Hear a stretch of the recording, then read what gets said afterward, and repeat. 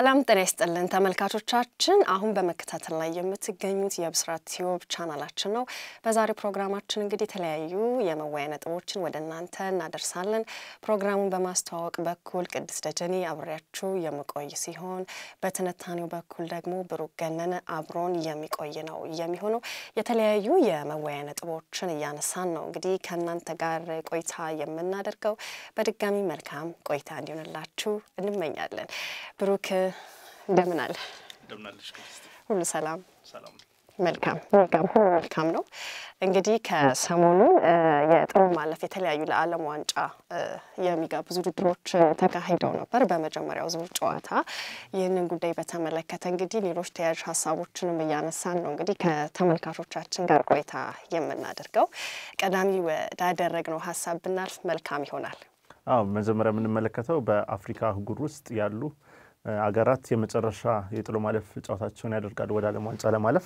ይህንን ተመልክቶ በዛሬው ዕለት አምስት ጨዋታዎች ይካሄዳሉ። እነዚህ አምስት ጨዋታዎች በቀጣይ ዓለም ዋንጫ አፍሪካን የሚወክሉ አምስት ሀገራትን ይነግሩናል ማለት ነው። ናይጄሪያ ከጋና፣ እንደዚሁም ደግሞ አልጄሪያ ከካሜሮን እንደዚሁም ከዛ በተጨማሪ ዲሞክራቲክ ሪፐብሊክ ኦፍ ኮንጎ ከሞሮኮ፣ ቱኒዚያ ከማሊ የሚያደርጓቸው ጨዋታዎች በጉጉት ይጠበቃሉ። በአፍሪካ አህጉር እንግዲህ ዛሬ ከሚደረጉ ጨዋታዎች መካከል አምስት ተጠባቂ ጨዋታዎች አሉ። እነዚህ ጨዋታዎች በቀጣይ ዓለም ዋንጫ ማን አፍሪካን ወክሎ ይሳተፋል የሚሉትን ነገሮች ይነግሩናል። ጋና ከናይጄሪያ እንደዚህ የሚያደርጉት ጨዋታ ይጠበቃል። ጃሎፍ ደርቢ እየተባለ የሚታወቅ ደርቢ ነው። ሁለቱ የምዕራብ አፍሪካ ሀገራት የሚያደርጉት ግጥሚያ ነው። ከዛ በተጨማሪ አልጄሪያ ከካሜሮን ይጫወታሉ። እንደዚሁም ደግሞ ሴኔጋል ከግብጽ ይፋለማሉ። ከዛ በተጨማሪ ዲሞክራቲክ ሪፐብሊክ ኦፍ ኮንጎ ከሜዳቸው ውጭ ሞሮኮን ሲገጥሙ፣ ቱኒዚያ ደግሞ ማሊን ያስተናግዳሉ። እነዚህ አምስት ጨዋታዎች በጉጉት የሚጠበቁ ጨዋታዎች ናቸው። በመጀመሪያው ዙር በነበረው ጨዋታ በሜዳዋ ድል የቀናት ብቸኛው ሀገር ግብጽ ነበረች። አሊዩ ሲሴ በራሱ ግብ ላይ ባስቆጠራት ግብ ሴኔጋልን አንድ ለባዶ መርታት ችላለች። ዛሬ በሴኔጋል ሜዳ ነው የሚጫወቱትና ይህንን ውጤት ለማስጠበቅ ከፍተኛ ትግል ይጠብቃቸዋል። ሴኔጋል በብዙ ከዋክብት የተሞላች ቡድን ነች። የአሁንም የአፍሪካ ዋንጫ አሸናፊ ነበረች። ግብጽን አሸንፋ ነበር እንደምናስታውሰው የአፍሪካ ዋንጫን ማንሳት የቻለችውና በቀላሉ እጇን ትሰጣለች ተብሎ አይጠበቅም። ጋናና ናይጄሪያ በሚያደርጉት ጨዋታ እንግዲህ በመጀመሪያ ጨዋታቸው ባዶ ለባዶ ነበር የተለያዩት። አሁን ናይጄሪያ ላይ በሚደረገው ጨዋታ ልክ እንደ መጀመሪያው ዙር ሁሉ በርካታ ደጋፊዎች ተገኝተው በጣም ደማቅ የሆነ atmosphere እንደሚኖር ነው የሚጠብቀው። በመጀመሪያ ኩማሲ ላይ በተደረገው በዚህ ጨዋታ በጣም ደጋፊዎች በደማቅ ሁኔታ ነበረ ሲደግፉ የነበረው። atmosphere ኡ የነበረው ድባብ እንዳለ በጣም ገራሚ ነበረና አሁንም ያ ነገር በድጋሚ ይፈጠራል ተብሎ ነው የሚጠበቀው። ከዛ በተጨማሪ አልጄሪያ ከሜዳዋ ውጭ ካሜሩንን ማሸነፏን እናስታውሳለን። ኢስላም ስሉማኒ ባስቆጠራት የግንባር ኳስ በጣም በግሩም ጎል አማካኝነት አንድ ለባዶ መርታት ችለዋል። አሁን ደግሞ በሜዳቸው ነው ካሜሮን የሚያስተናግዱት። ከሜዳዋ ውጭ ተጉዛ ካሜሮን ታሸንፋለች ብሎ መጠበቅ ትንሽ ከበድ ይላል። ምክንያቱም አልጄሪያዎች በሜዳቸው ለረጅም ጊዜያቶች አልተሸነፉም። ስለዚህ ያንን አስጠብቀው ወደ ዓለም ዋንጫ ያልፋሉ ተብሎ ግምት ተሰጥቷቸዋል። ሌላኛው እንግዲህ ዲሞክራቲክ ሪፐብሊክ ኦፍ ኮንጎና ሞሮኮን የሚያገናኝ ጨዋታ ነው። በመጀመሪያው ጨዋታቸው አንድ አቻ ነበር የተለያዩት እነዚህ ቡድኖች። በዛ ጨዋታ እንግዲህ ሞሮኮዎች ብልጫ ተወስዶባቸው ነበር በመጀመሪያው አጋማሽ። የኋላ ኋላ ግን በማንሰራራት አንዳቻ በማድረግ ውጤቱን ይዘው ወጥተዋል። ስለዚህ በሜዳቸው በሚያደርጉት በዚህ ጨዋታ ደግሞ ጥሩ ውጤትን ለማስመዝገብ የተሻለ ግምትን ተሰጥቷቸዋል ማለት ነው። ያላነሳሁት የመጨረሻው ጨዋታ ቱኒዚያና ማሊን የሚያገናኝ ነው። ቱኒዚያዎች በመጀመሪያው ግጥሚያ ከሜዳቸው ውጭ ማሊን አንድ ለባዶ መርታት ችለው ነበረ። በዛ ጨዋታ እንግዲህ ሙሳ ሲሶኮ በቀይ ካርድ ተባሮ ነበር ከማሊ በኩል እንደዚሁም ራሱ ግብ ላይ ግብ አስቆጥሮ ነበር። ይህ ደግሞ ለቱኒዚያዎች መልካም ዜና የነበረ አጋጣሚ ነበር። አሁንም ይህንን ውጤት ለማስጠበቅና በዛው ውጤት እንግዲህ ላስጠብቀው ወደ ዓለም ዋንጫ ለማለፍ ከፍተኛ ፉክክር እንደሚያደርጉ ይጠበቃልና በጣም አብዛኞቹ ጨዋታዎች በጣም ተቀራራቢ ውጤት የተመዘገቡባቸው ከመሆኑ አንጻር ማን ወደ ቀጣዩ ዙር ያልፋል የሚለውን ነገር ለመገንበት ወይ ደግሞ ለመተንበይ ትንሽ አዳጋች ይመስላል። ነገር ግን በጣም አጓጊ የሆኑና ተቀራራቢነት ያላቸውን ጨዋታዎች እንደምናይ እንጠብቃለን። መልካም ብሩክ፣ ያው ቀደም ሲል አንተ እንግዲህ እንዳነሳው በዚህ ጨዋታ በቀጣይ በሚደረጉ በተለይ በመጀመሪያ ዙር ጨዋታዎች የተደረጉ አምስት የማጣሪያ ውድድሮችን በምን መልኩ ተጠናቀው አለፉ የሚለውን በቀጣይ በሚኖራቸውን ጨዋታ ደግሞ ምን አይነት ውጤት ሊኖራቸው ይችላል የሚለውን ነገር እንግዲህ በዚህ መልኩ ዳስ አስቃኝተህናል። ብዙዎችንም ያጓጓል ብዬ ነው የማስበው። በትክክል በትክክል በጣም በጣም ብዙ ፉክክሮች የሚካሄዱበት ጨዋታ ነው። በተለይ ጋናና ናይጄሪያ የሚያደርጉት ጨዋታ እንደገለጽኩት የደርቢ ጨዋታ ነው። በሁለቱ ደጋፊዎች መካከል ያለው የፉክክር ስሜት በጣም ላቅ ያለ ነው። ከጨዋታው በፊትም አሰልጣኞቹ ጥያቄ ቀርቦላቸው ነበርና የጋና አሰልጣኝ የሆኑት ኦቶ አዶ በሰጠው አስተያየት ምንም አይነት ፕሬዠር ወይ ደግሞ ተጽዕኖ አይሰማንም እኛ የተቻለንን ሁሉ ለማድረግ ጥረት እናደርጋለን። እንደውም ፕሬዠር የሚሰማው ተጽዕኖ የሚሰማው የሚባለው የሚበላውን ያጣ ሰው ነው ተጽዕኖ የሚሰማው እንጂ ሁለት ሚሊዮን ጋናውያንን ወክሎ በእግር ኳስ አሰልጣኝነት የተሾመ ሰው ጫና ሊሰማው አይገባም በማለት ገራሚ የሆነ አስተያየት ሰጥቷል። በተመሳሳይ የናይጄሪያ አሰልጣኝ ኢግቮንም ተመሳሳይ አስተያየት ነው የሰጡት እና እና በሁለቱ ቡድኖች መካከል የሚኖረው ጨዋታ በተለይ ድባቡ በጣም ከፍተኛ እንደሚሆን ሜዳ ላይ የምንመለከተውም ሽኩቻ ለማሸነፍ የሚኖረው ትግል እንደዚሁ ከባድ እንደሚሆን ነው የምንጠብቀው።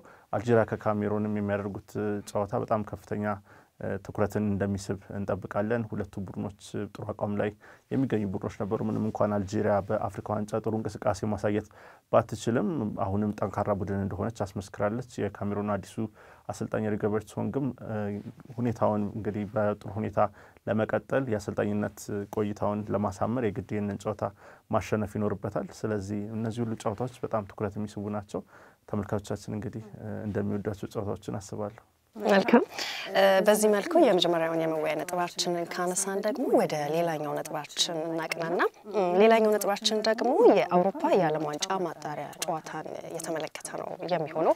በዚህ ጨዋታም ደግሞ ፖላንድ ከስዊድን እንዲሁም ፖርቱጋል ከሰሜን መቄዶኒያ የሚኖራቸውን ጨዋታ አስመልክቶ እስኪ እናንሳና ይህ ጨዋታ ምን መልክ ሊኖረው ይችላል የሚለውን እስኪ ብሩኬ እዚህ ላይ ደግሞ ትንታኔ የምትሰጠን። ፖላንድ ከስዊድን የሚያደርጉት ጨዋታ ሁለት ተቀራራቢ አቋም ላይ ያሉ ቡድኖች የሚያደርጉት ጨዋታ ነው። ሁለቱም እኩል እድል አላቸው ብዬ አስባለሁ። ፖላንዶች ሩሲያ በመታገዷ አማካኝነት በቀጥታ ነው ወደዚህ የመጨረሻ ዙር ማለፍ የቻሉት። ስዊድን በበኩላቸው ቼክ ሪፐብሊክን በተጨማሪ ሰዓት ሮበርት ኳይዞን ባስቆጠራት ግብ አማካኝነት አሸንፈው ነው አንድ ለባዶ ወደዚህ ጨዋታ የቀረቡትና ሁለቱም ቡድኖች እንግዲህ በርካታ የአጥቂ ስፍራ ተጫዋቾች አሏቸው። በፖላንድ በኩል ሮበርት ሌቫንዶቭስኪና ክሪስቶፍ ፒዮቴክ ከፍተኛ ግምት የተሰጣቸው ተጫዋቾች ናቸው። በስዊድን በኩል አሌክሳንድር አይዛክ፣ ኩሉሴቭስኪ እንደዚሁም ዝላታን ኢብራሂሞቪች አሉ። የማንቸስተር ዩናይትዱ ታዳጊ ተጫዋች ኢላንጋም አለ። ኳይዞን ግብ ያስቆጠረው ቼክ ሪፐብሊክ ላይ እንደዚሁ ሌላ ወሳኝ ተጫዋች ነው እና እነዚህ ሁሉ የአጥቂ ስፍራ አማራጮች ስላሏቸው ሁለቱም ቡድኖች የግብ የማስቆጠር ችግር አለባቸው ተብሎ አይጠበቅም። ፖላንድ በሜዳዋ እንደመጫወቷ መጠን አንድ advantage ሆኖ ይታሰብላታል። ባለፉት ስምንት ዓለም ዋንጫዎች በሶስቱ ነው መሳተፍ የቻለችው ፖላንድ። በአንጻሩ ስዊድን በርካታ ጊዜ በተደጋጋሚ በዓለም ዋንጫ ስትሳተፍ እንመለከታታለን። ባለፈው 2018 ዓለም ዋንጫም ጥሩ ግስጋሴን አድርጋ ነበር። ፍጻሜ ላይ ነው በእንግሊዝ ተረታ ከውድድሩ የተሰናበተችው እና ጥሩ ፉክክርን በሁለቱ ቡድኖች መካከል እንደምንመለከት ነው የምናስበው። ፖርቹጋል ከሰሜን መቄዶኒያ የሚያደርጉት ጨዋታ አብዛኛው ግምት ያለው ፖርቹጋል ጋር ነው።